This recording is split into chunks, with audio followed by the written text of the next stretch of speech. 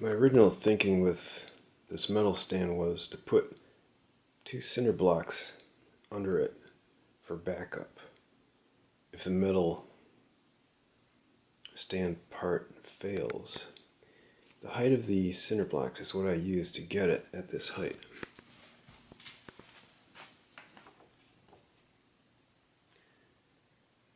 But after it was done, at some point I learned that the strongest orientation for the cinder blocks is holes up.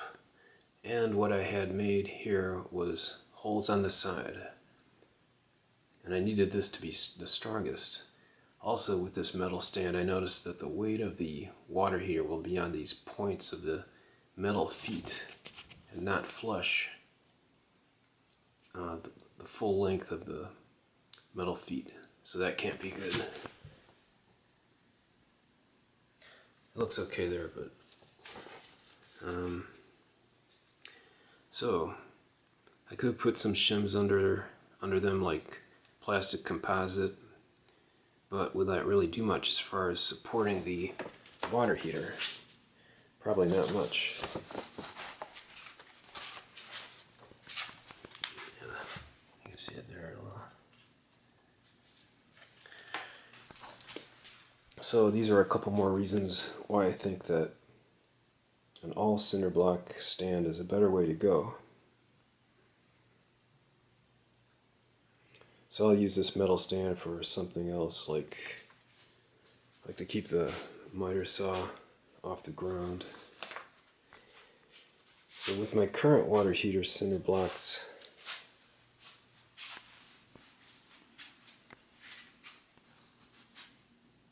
um, this was my initial attempt at using cinder blocks. I didn't have the concept of distribution of weight.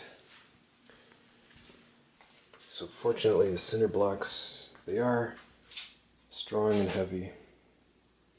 And there hasn't been any problem, even though it has gone through a couple of 4.0 earthquakes, which is just like having a rumbling sound go through your place.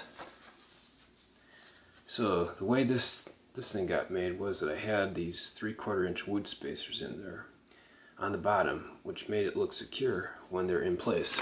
That's this thing here.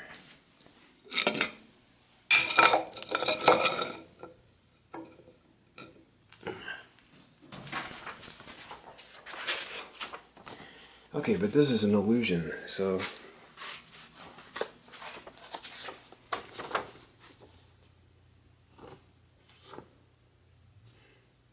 So my thinking was that I needed to leave some space there to spray bleach and water after the next flood.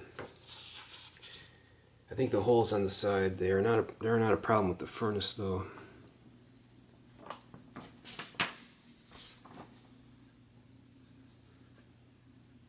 Mm, because it's light.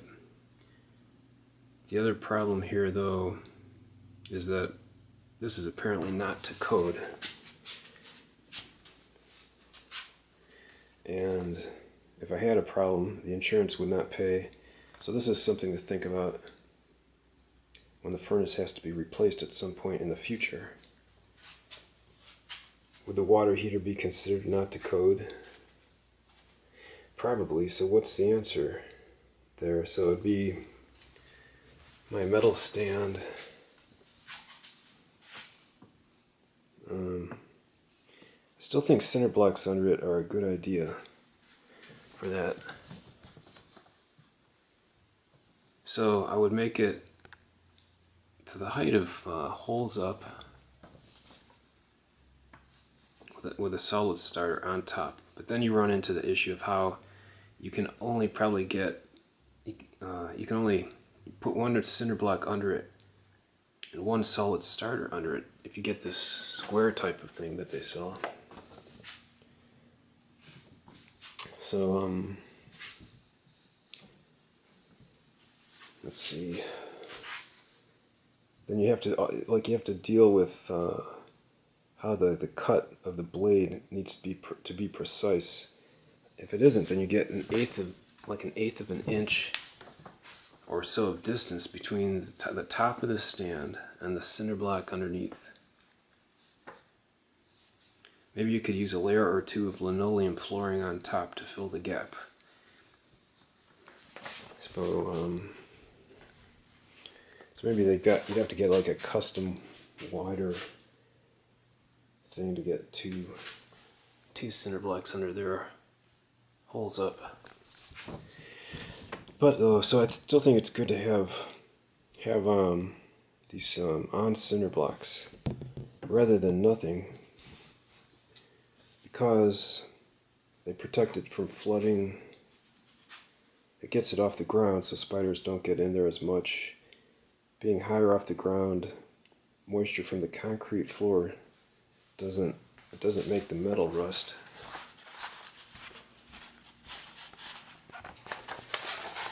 You can see that.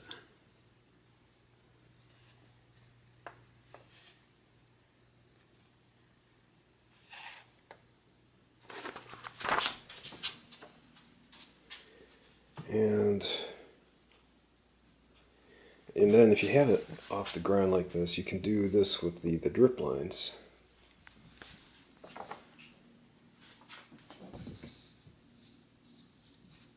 So then you can have a thermal expansion valve discharge line. And it'll have a place to go. How, I mean, how else could you do a, a thermal expansion valve discharge line if, if you were running it you're running the line to the, the drain inside like I'm doing here. So for this drain adapter I'm thinking wouldn't it be good if I didn't have to glue the these things together?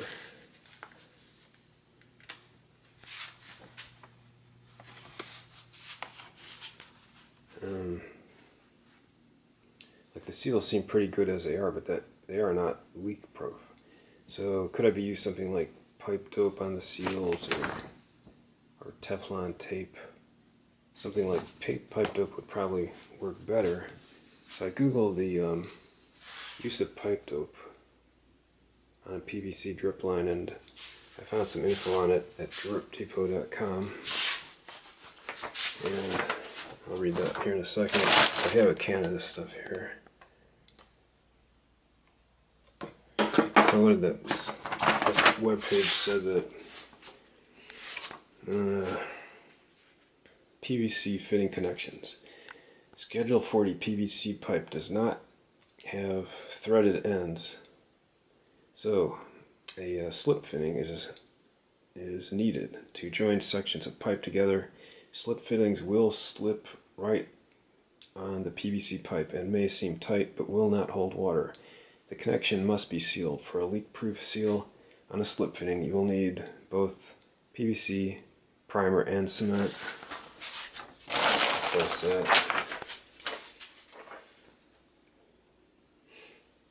The primer softens the inside of the fitting, preparing it to bond, while the cement bonds the two pieces watertight.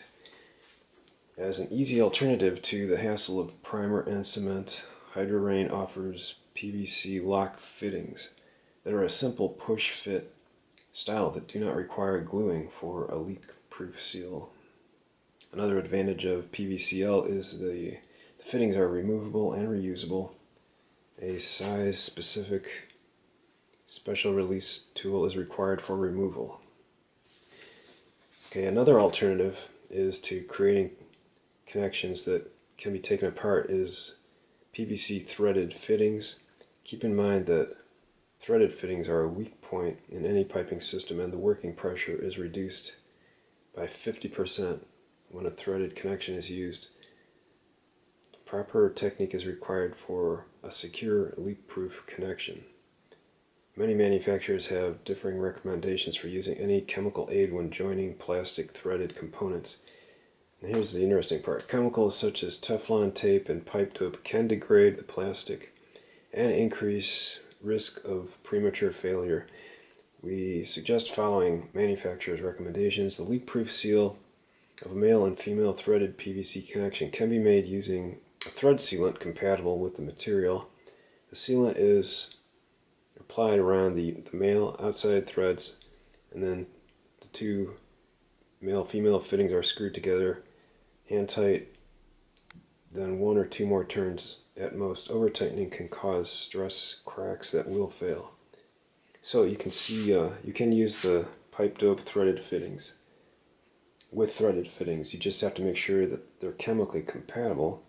So yeah, I googled thread sealant for PVC and I see that this can of, of stuff I have says it'll work. Uh,